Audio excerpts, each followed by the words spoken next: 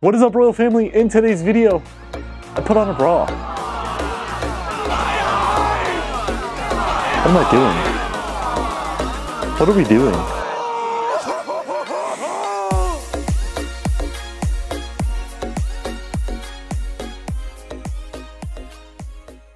After struggling for three hours to remove my favorite bra that just doesn't fit like it used to, I'm ready to talk about the other bra I like to put on hood bras.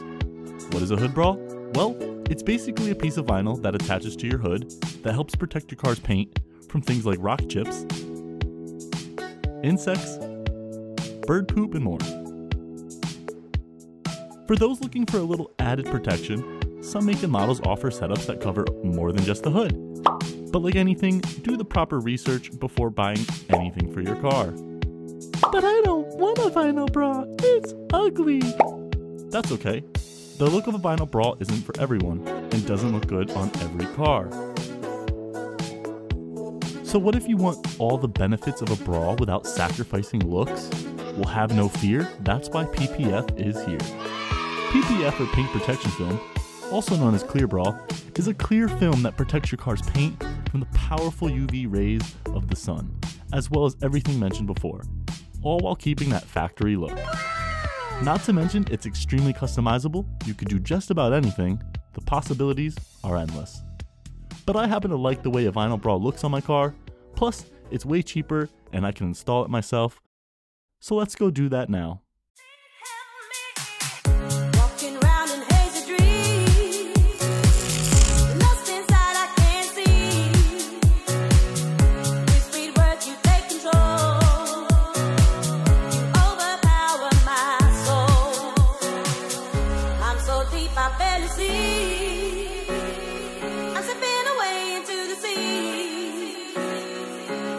Inside the rabbit hole.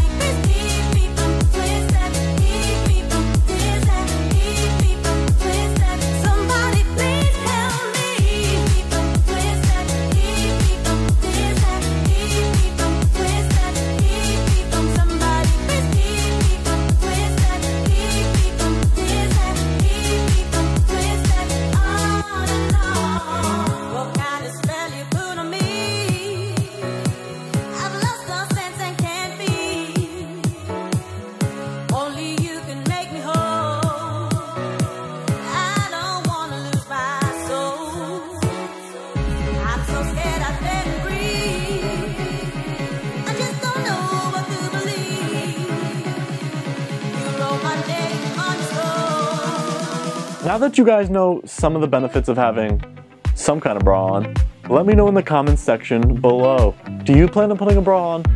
Or do you already have one on? Like me. And for those of you drooling over those headlights, check the link in the description for that video. I'll see you guys in the next one. Take it easy.